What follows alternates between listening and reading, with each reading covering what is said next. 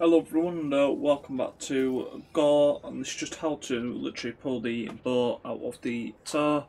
Um, this is one of the first things you come across uh, as you're on planet Koboh explore, explore, exploring the Gorge crash site but you can't do it until you've got the force slam ability and it's literally just look at it, R1 and triangle and then if you jump down to it you'll have um, what called, gem, it's not the right word, but that's the only word coming to my mind, uh, to basically meditate at. It's uh, force, force, force. Um,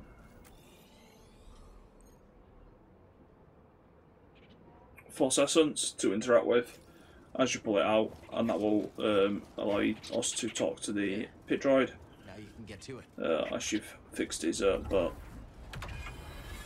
I do hope this helps. Do please enjoy, like, comment, and subscribe.